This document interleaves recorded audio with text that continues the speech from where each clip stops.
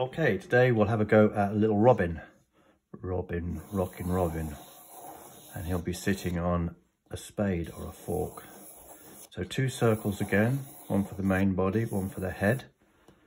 Join them together. Very much like the horse that we did the other day. The tail, just an oblong shape. Legs, one leg comes down like this, following from his bottom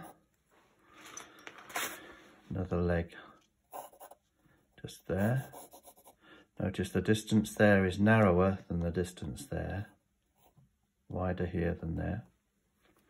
And we'll put him standing on this spade. Just roughly draw it in like this, just a T shape. I suppose he'll need an eye. A little round dot in there for the light bit of the eye. And a beak, a little triangle.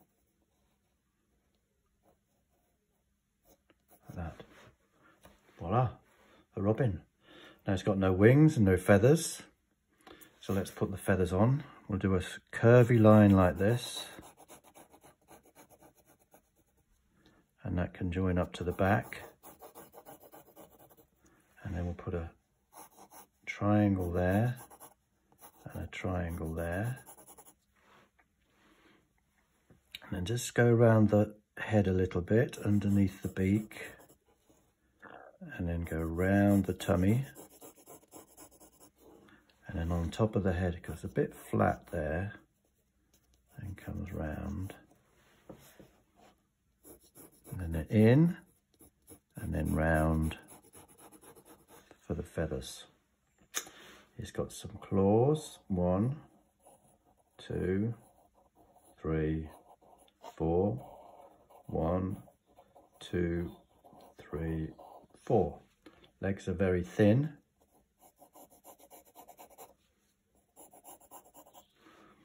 And that is about it. I guess you could put some clouds in.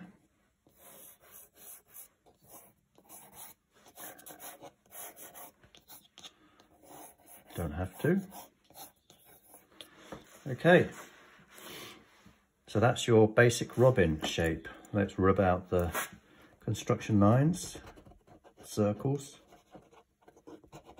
and then we can either just fill that in with pencil or with paint. I'm going to use some paint. It's a funny shaped robin. No, it's not too bad. Not too bad. It's okay. So where to begin? Well, we'll pick up a brush for starters and Let's just do the red of the robin redbreast first, the most important bit. Okay, so up to the head, around the eye, carefully around the eye. You can go all the way around, around the beak. A bit more paint. And then down for the rest of the body. Not all the way down,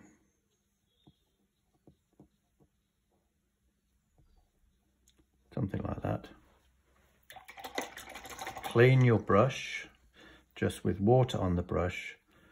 Just touch the side of the red with the brush so that you can see how it smooths it.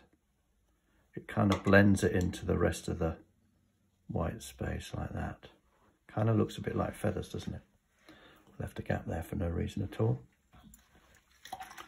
Okay, so that looks quite nice.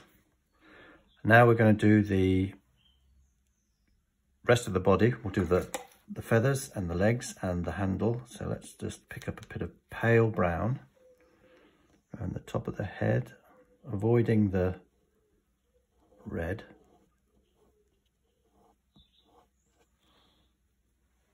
Just paint that shape in. Paint the tail feather shape in.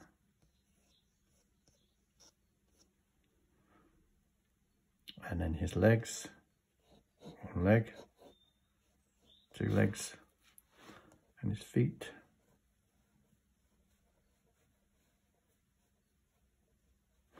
And with that same colour, but just with more water,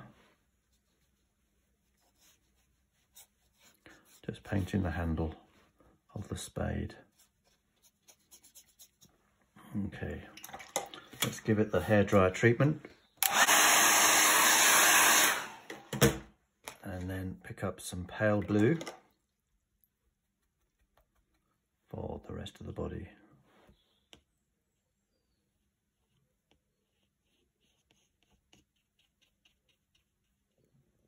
Okay, where it overlaps the red, just as you did before, just with clean brush, just run that along that edge so it blends into the red, okay? Now let's do the feathers, some detail on the feathers. So let's pick up dark blue and dark brown together. Make a little mixture. And let's draw some feathers. Some there. One, two, three, four, five. And then some for the tail. Like that and his legs, a bit of shadow under there, a bit of shadow under there.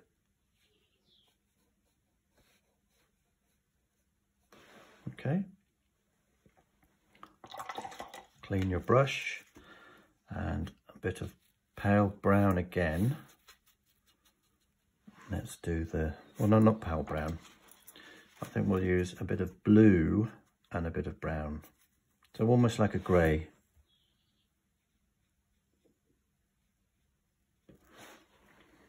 For the beak.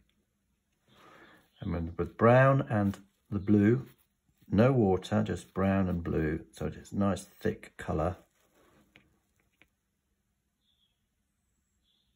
Just paint the eye, but leave a little dot in the middle. That the middle will be the bit that catches the light. Now he's almost done. Let's do a little bit of work on the spade just with the dark brown. Give it a bit of shape.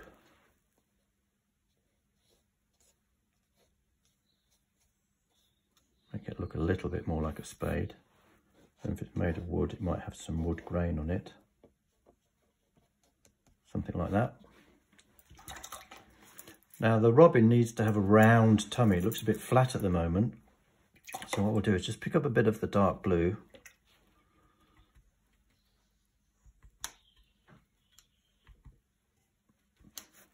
just run that underneath.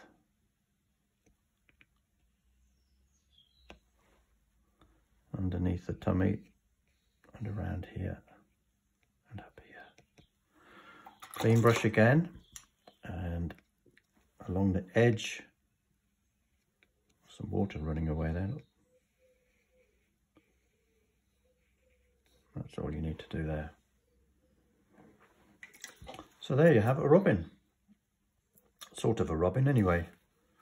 You can go on and fiddle with it a little bit more if you want to, put some more detail in, a bit darker underneath the beak perhaps, some more shading, a bit more shading on the spade maybe, or even some blue sky around those clouds that we drew earlier.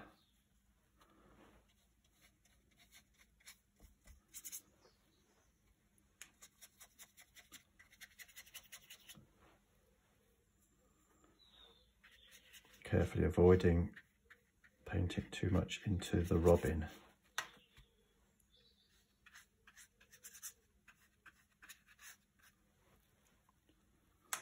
And down here a bit more.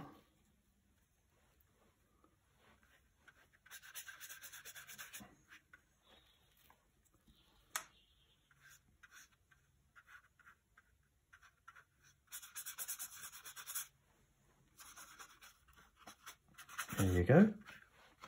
Sort of a sky and sort of a robin. Just for fun. Okay, finished.